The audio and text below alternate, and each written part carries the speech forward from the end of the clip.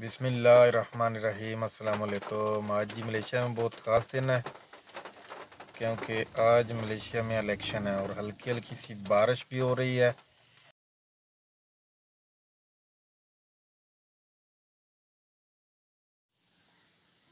बारिश माशाल्लाह हल्की हल्की हो रही है।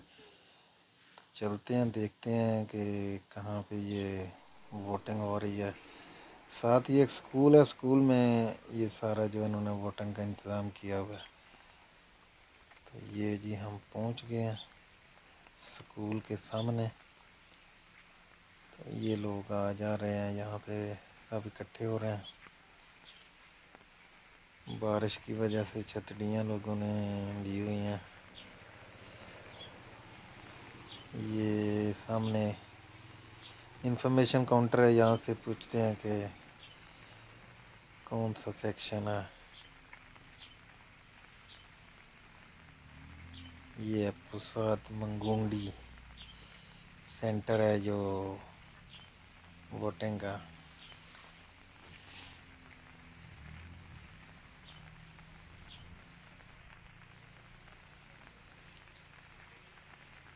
गाड़ियाँ आ रही हैं, लोग उतर रहे हैं और अपना अपना वोट जो है डालने के लिए स्कूल की तरफ़ बढ़ रहे हैं। ये अंदर से स्कूल है। ये ये एक इंडियन फैमिली है जो कि वोट डालने जा रही है।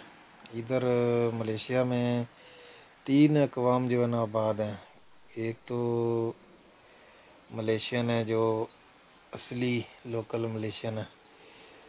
एक इंडियन मलेशियन है चाइनीज़ मलेशियन है सब मिलजुल के रह रहे हैं। बहुत अच्छा इंतज़ाम है, देखो नहीं वोटिंग का।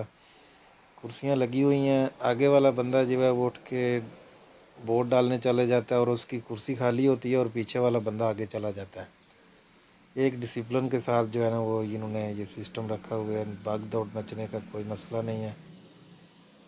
हर कोई जो है ना, वो सलीके के साथ अपनी बारी के साथ आगे आगे जा रहा है। ये कुछ इंडियन फैमिली के मर्द बैठे हुए हैं। वो उस साइड पे भी जो कुर्सियाँ लगी हुई हैं, अलग अलग जो है वो सेक्शन की कतारें बनी हुई हैं। कोई इतनी भीड़ नहीं है रश नहीं है।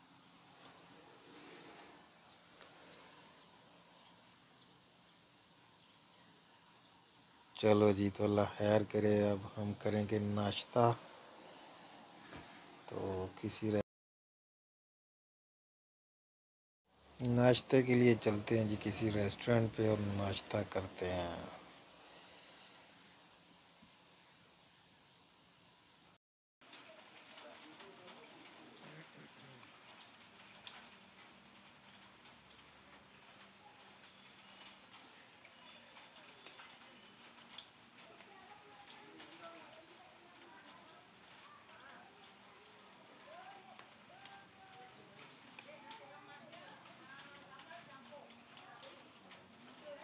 हाँ जी तो खाना खा लिया है और बारिश बहुत तेज़ हो रही है। अच्छा जी तो ब्लॉग को यही ख़त्म करते हैं और घर को चलते हैं। अल्लाह हाफिज़ जी, चैनल को सब्सक्राइब करें और लाइक करें। ओके, अल्लाह हाफिज़।